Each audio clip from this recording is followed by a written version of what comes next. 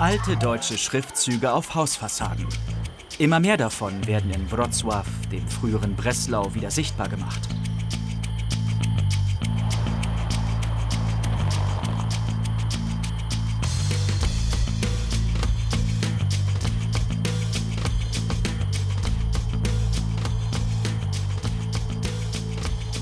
Die Generation 20 Plus engagiert sich, das Erbe der Deutschen neu zu beleben. Eine von ihnen ist die Restauratorin Luisa Kostańska. Streng und er sagt, ich weiß, ich weiß nicht. Ojej, ja to uwielbiam. Oh ja, ich liebe meinen Job, auch wenn ich nicht viel damit verdiene. Mir macht es super viel Spaß, etwas unter den Schichten zu entdecken. Und es liegt sogar im Trend, die ehemaligen deutschen Schriften freizulegen. Inzwischen gibt es viele Menschen in ganz Breslau, die das auf eigene Faust machen.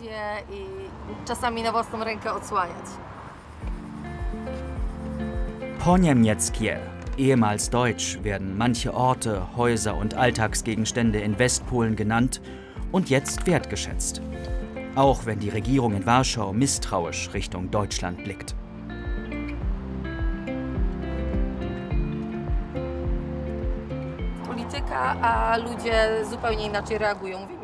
Die Politik und die Gesellschaft funktionieren komplett unterschiedlich. Ich denke, auf der einen Seite steht die Politik und auf der anderen die Menschen.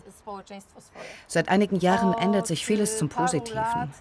Wenn ich hier Schriftzüge restauriere, dann fragen mich viele, ist das für einen Film? Und wenn ich dann sage, dass es bleibt und nicht überdeckt wird, freuen sie sich und supporten mich.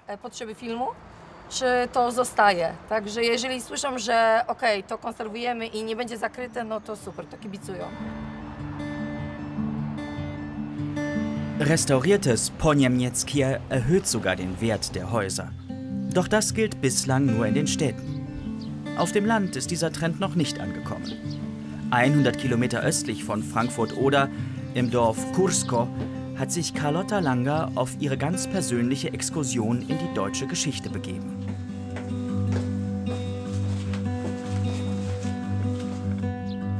Die Architektin saniert alte Häuser und sammelt historische Baustoffe. Allerdings, die müssen ehemals deutsch sein.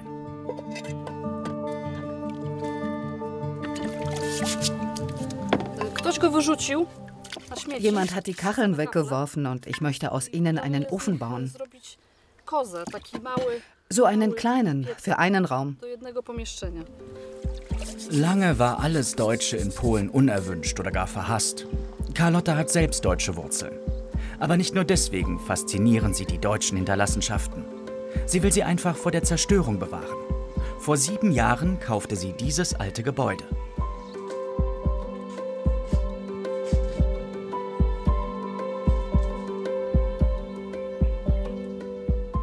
Das ist ein ehemals deutscher Bahnhof. Alles ist wie vor dem Krieg, also ehemals deutsch. Die Polen haben sich nicht darum gekümmert. Und jetzt kümmere ich mich darum. Carlotta wohnt in der Nähe und will schon nächstes Jahr hier einziehen. Ihre Schätze findet sie in leerstehenden Häusern, aus denen die deutschen Bewohner nach dem Zweiten Weltkrieg vertrieben wurden.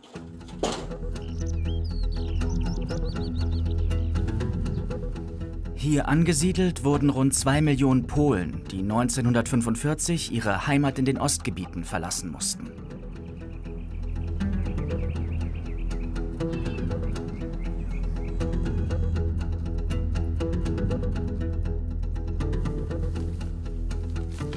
Aus Angst, dass die früheren Besitzer zurückkommen könnten, haben sie sich wenig um die Häuser gekümmert.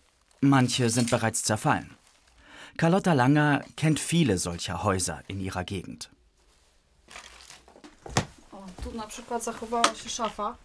Hier ist noch ein Schrank. Na bitte, sogar die Kleidung von dem letzten polnischen Bewohner ist noch da. Ein wichtiger Bestandteil der Herrengarderobe. Die lange Unterhose. Winterunterwäsche. Ich lege sie zurück. Sind ja nicht meine. Was gibt es hier? Ah, nichts Spannendes.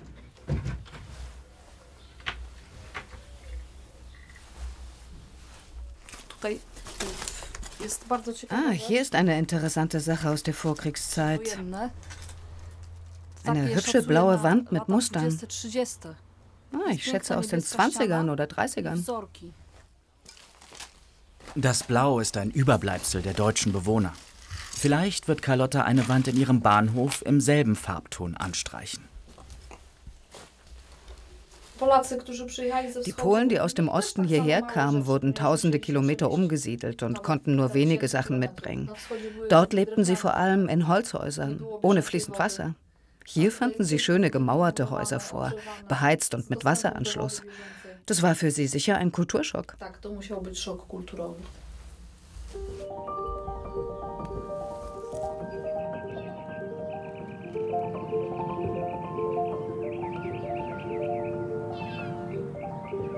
Rund 160 Kilometer nördlich von Kursko liegt Stettin. 1945 waren gut zwei Drittel aller Häuser der bis dahin deutschen Stadt zerstört. Monika Schimanik sucht nach Spuren vom alten Stettin, die der Krieg nicht zerstört hat. Für mich geht es nicht nur um ehemals Deutsch. Vielmehr suche ich hier die Geschichte. Die abgelaufenen Fußböden, auf denen die Deutschen liefen aber auch die Geschichte der Polen, die nach dem Krieg gekommen sind. Das ist immer, jedes Mal ist ein bisschen mehr ab. E, ich fotografiere, um die Erinnerung zu bewahren, bevor die Wände übermalt werden.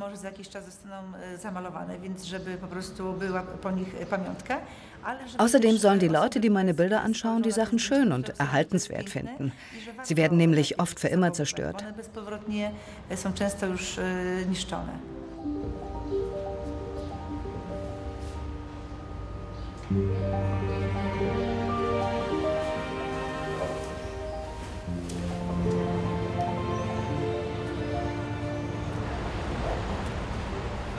Manche Orte hat Monika zufällig entdeckt und besucht sie nun immer wieder. Den Inhaber des Ladens für Computerreparaturen hat sie mit ihrer Begeisterung für die Jugendstilarchitektur angesteckt. Weißt du was? Ich mache gerade ein Fotoalbum über solche Orte in Polen. Das weiß ich doch. Und darf dein Laden auch in dem Album sein? Erlaubst du es mir? Nö. Nein? Warum denn nicht? Klar, mach halt.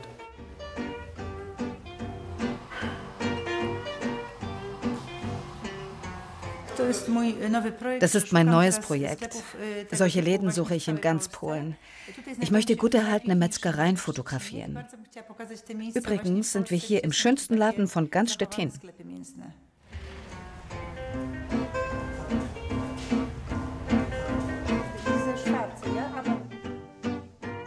Ganz toll. Das finde ich auch so schön, diese Farben. Das ist alles so in grün und so.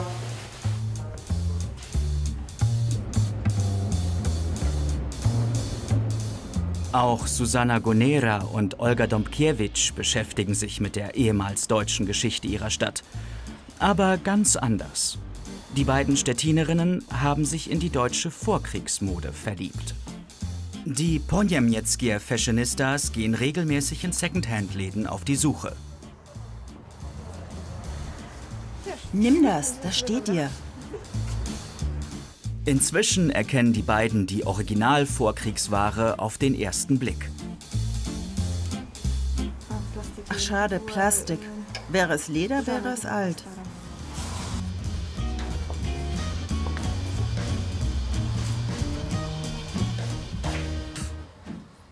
Gold wäre mega dazu. Man erkennt das Alter des Kleiders oft am Schnitt. Hier haben wir zum Beispiel einen charakteristischen Ausschnitt. Und auch der Stoff und die betonte Taille geben Hinweise. In polnischen Second-Hand-Läden findet man noch viel Vorkriegskleidung. Ob es wirklich alles Deutsch ist, da muss man genauer hinsehen. Susannas und Olgas Thema ist nicht nur die Mode. Sie sind gut vernetzt mit anderen Stettinerinnen, die sich, wie Sie, für die Geschichte ihrer Stadt interessieren. Dazu gehört auch die Architektin Anna Kotz. Cześć!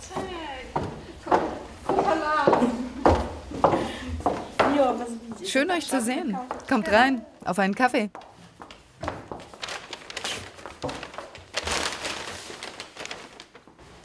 Was haben wir denn hier? Bitte sehr, etwas aus den 30ern. Ah, tatsächlich 30er. Kannst du mir das reparieren? Reparier es doch selbst. Da passe ich nicht rein, zu eng, oder?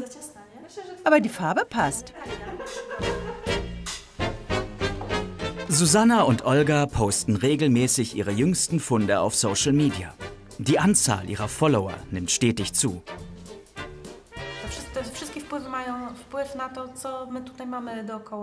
Die Geschichte hat Einfluss darauf, wie wir heute leben und hat uns genau zu den Menschen geformt, die wir heute sind.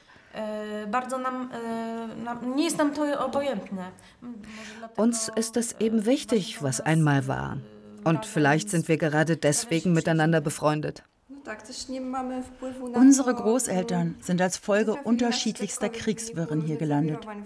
Da hatten wir keinen Einfluss drauf. Dass wir hier leben, ist letztlich eine Verkettung von Umständen.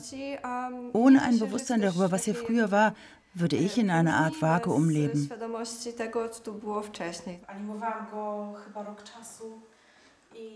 Vier Jahre lang hat Anna an der visuellen Rekonstruktion des Quistorp-Turms gearbeitet. Der 1945 zerstörte Stettiner Aussichtsturm war eines der Wahrzeichen der Stadt. Wir sind in erster Linie Stettinerinnen. Diese lokale Identität steht für uns noch vor der nationalen. Die früheren Einwohner der Stadt waren genau wie wir, auch Stettiner. Und das verbindet uns. Vom Quistorp-Turm ist nur noch der Sockel übrig, in dem einst ein Café betrieben wurde. Paweł Ziatek ist hier im Norden von Stettin aufgewachsen. Die Ruine des Quistorp-Turms war für seine Freunde und ihn wie ein Abenteuerspielplatz.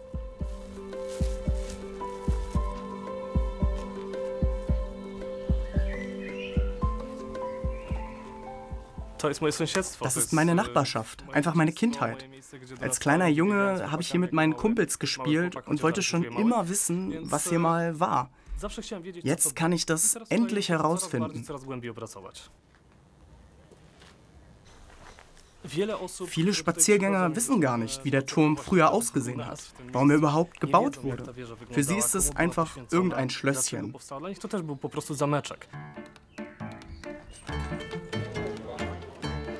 Einblicke in die jüngere Geschichte Stettins zu vermitteln, das sieht Paweł als seine Mission.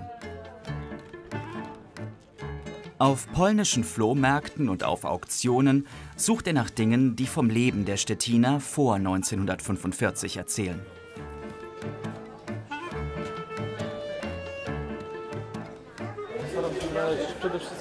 Ich suche vor allem Originalpostkarten. Das ist meine Passion.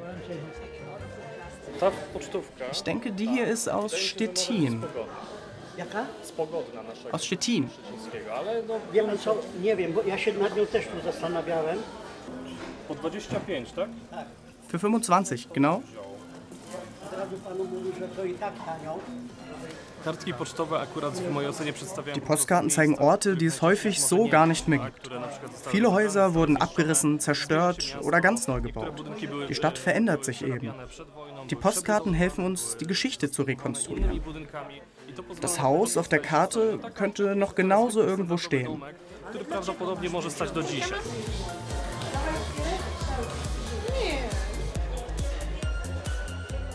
2050 Postkarten hat der Stettiner bereits seit seiner Kindheit zusammengesammelt.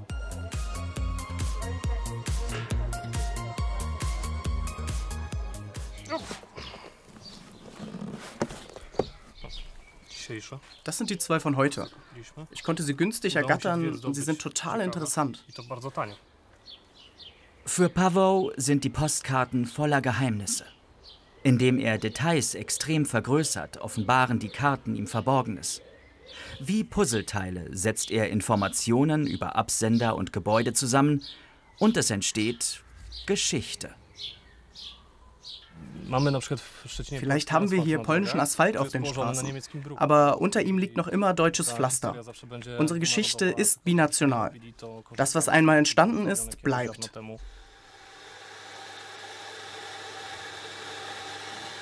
Zusammen mit ihrem Mann betreibt Monika Schumannik ein Café. Nebenher verkauft sie hier Bücher über die Geschichte der ehemals deutschen Gebiete. Und natürlich ihre eigenen Fotobände. Konrad, schau mal, was für schöne Bilder ich heute in dem Laden gemacht habe.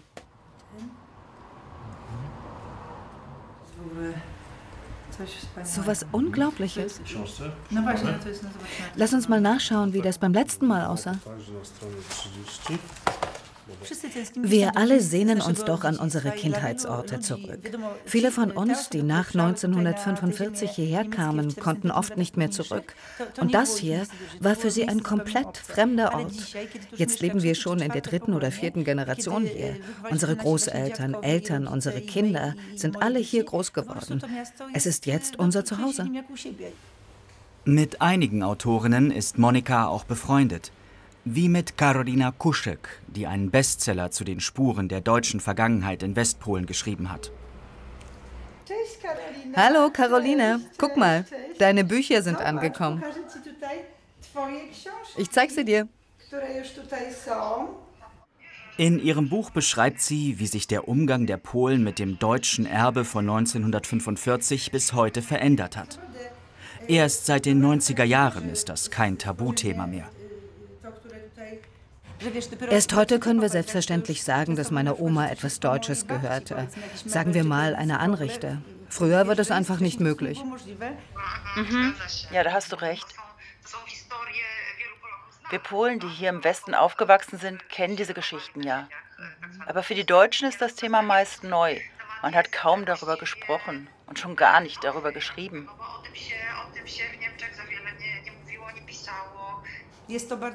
Ja, das ist ein ganz neuer und frischer Blick, vor allem für die Deutschen.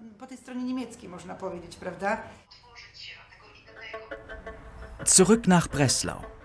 Alan Weiß findet seine Zeugen der jüngsten Stadtgeschichte oft verstreut in städtischen Grünanlagen. Es sind Reste von alten deutschen Friedhöfen, die die neuen Stadtbewohner einfach planiert haben. Und die Grabsteine wurden häufig weggeworfen. Alan erhofft sich einen respektvolleren Umgang mit diesen Steinen. Dora Hoffmann, Dora Hoffmann geboren am 25.06.1895. Ich fühle immer die Geschichte dieser Menschen nach. Manchmal lese ich ihre Namen sogar laut vor. Womöglich hat seit Jahrzehnten keiner mehr ihren Namen laut ausgesprochen. Im Januar waren es genau 100 Jahre, seit sie tot ist.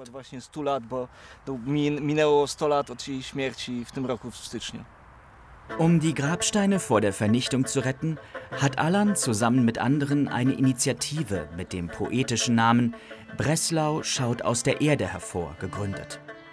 Gemeinsam wollen sie die noch verbliebenen Gräber aus der Zeit vor 1945 als städtisches Kulturerbe sichern.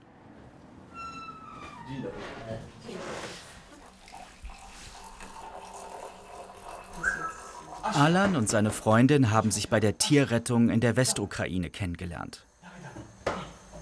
Katarzyna ist eine geduldige Zuhörerin, wenn Alan ihr erzählt, wie wichtig ihm der empathische Umgang auch mit dem deutschen Erbe ist. Ein emotionales Thema. Als Ukrainerin ist ihr die Auseinandersetzung mit dem Thema Heimat ständig präsent. Wir fühlen uns hier zu Hause. Es ist unser Land und wir fühlen uns sicher.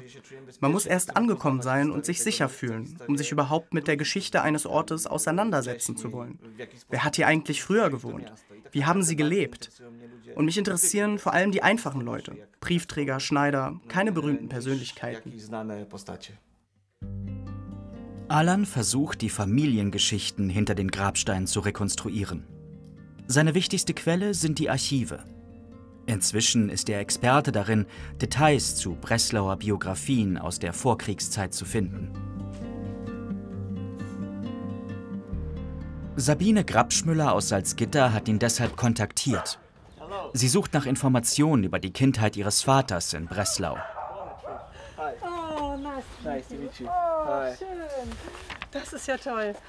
Ja, Die Geschichte ist so, dass Alan äh, in kürzester Zeit heraus, also meine Ahnen herausgefunden hat. Und zwar meine, meine Urgroßeltern und Ururgroßeltern. Also äh, ganz völlig selbstlos. Ah, ich bin so glücklich drüber, wirklich erst toll.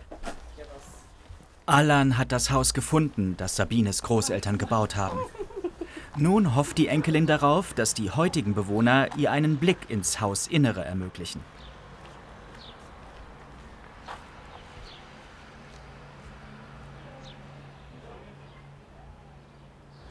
Sie wollen ihre Privatsphäre haben, das machen sie nicht. Eine Enttäuschung für Sabine. Aber sie versteht auch das Misstrauen auf polnischer Seite. Nee, nee, die, äh, also schon gar nicht in die Wohnung rein. Also so habe ich das verstanden und das ist okay. Also, ne, das ist, ist, ist so, ne? Manchmal möchten die Leute nicht mit einem sprechen. Selbst eine Familie aus Deutschland, die ich einmal angeschrieben hatte, war nicht an einer Kontaktaufnahme interessiert. Vielleicht hatten sie Angst, dass ich irgendetwas von ihnen fordere. Doch während hier in Breslau die Suche nach der deutschen Vorkriegsgeschichte ein vorläufiges Ende findet, geht sie in Kursko für Carlotta weiter.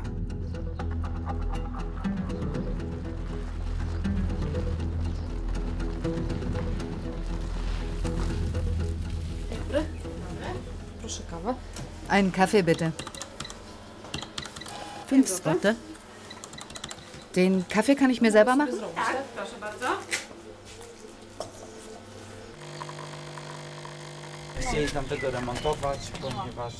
Das Haus sollte renoviert werden, aber der Eigentümer hat angefangen zu trinken. Und jetzt ist nicht klar, was überhaupt daraus wird. Jetzt gehört es dem Staat? Ja.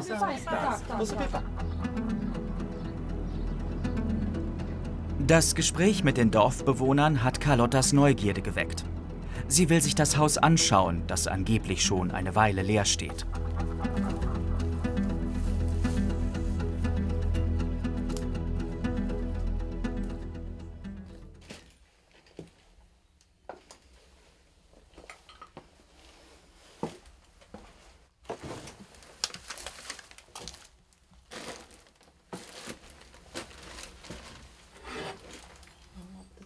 Das ist polnisch.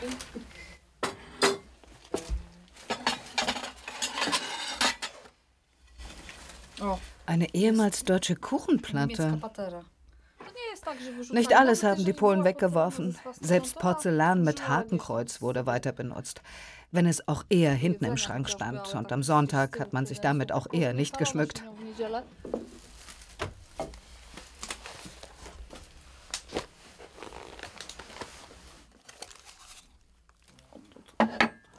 Wenn Carlotta etwas Interessantes findet, klärt sie mit der zuständigen Gemeindeverwaltung, ob sie es mitnehmen darf.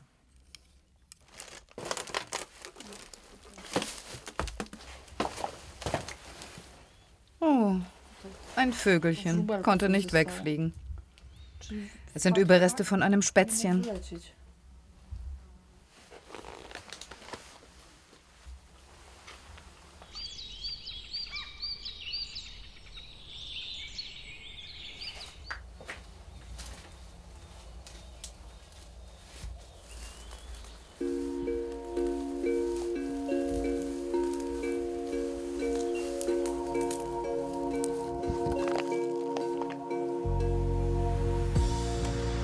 Auf dem Land sind viele Menschen irritiert von Frauen wie Carlotta.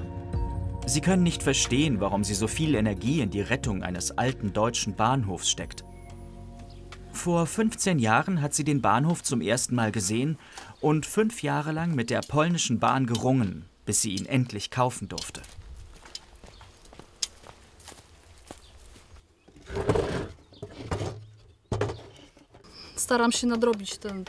Ich will die verlorene Zeit aufholen, aber es ist noch viel Arbeit und es dauert alles. Warum bin ich hier? Es ist schwer in Worte zu fassen. Ich habe den Bahnhof gesehen und wusste, ich muss ihn kaufen. Ich muss hier wohnen. Das ist mein Platz auf dieser Erde.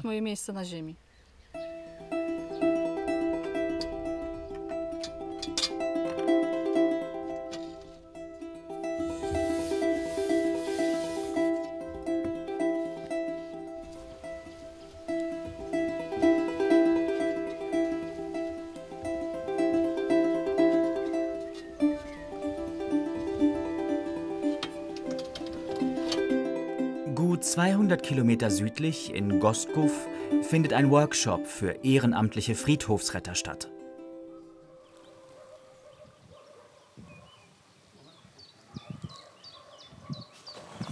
Vor sieben Jahren hat Halina Brick dort gemeinsam mit ihrer Tochter Angelika den deutschen Friedhof aus der Vorkriegszeit gekauft.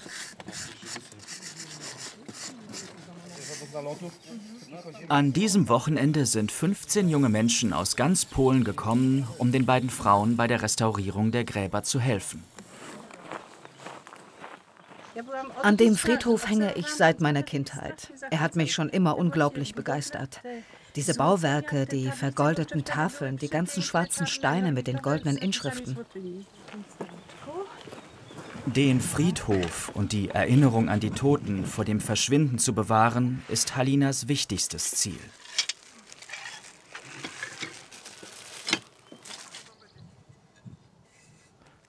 Besonders berühren sie die Grabtafeln der vielen Kindergräber.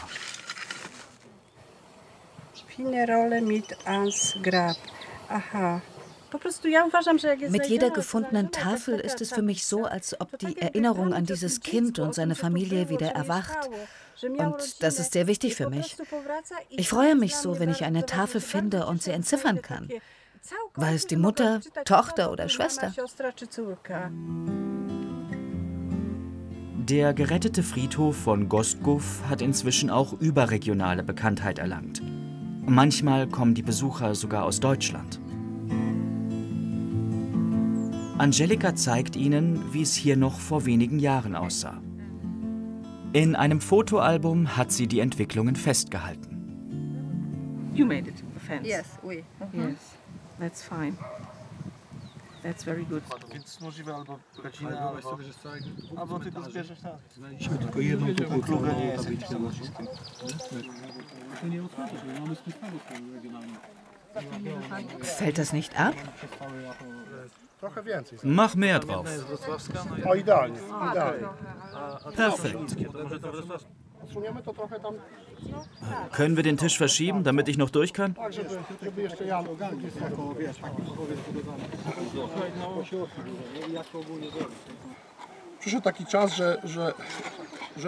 Heutzutage haben viele schon vergessen, was die Deutschen uns eigentlich angetan haben. Sechs Millionen von uns haben sie ermordet. Unser Blick hat sich mittlerweile erweitert. Aber viele junge Menschen denken heute schon gar nicht mehr daran. Die Deutschen wissen allerdings, was sie uns Schlimmes angetan haben. Und sie haben sich wenigstens entschuldigt. Und wir Polen sind zwar nicht alle Katholiken, aber wir Katholiken konnten den Deutschen verzeihen. Friedhofsbesitzerin Halina geht es nicht ums Verzeihen. Für sie ist der Friedhof einfach ein Stück ihrer Heimat. Ich träume davon, irgendwann einmal auf diesem Friedhof begraben zu werden, wenn Gott mich zu sich holen will. Meine Tochter und andere belächeln mich deswegen noch. Aber wenn es von offizieller Seite klappt, werde ich meine letzte Ruhe hier finden. Ich werde alles in die Wege leiten, damit ich hier beerdigt werden kann. Ich fühle mich hier einfach großartig.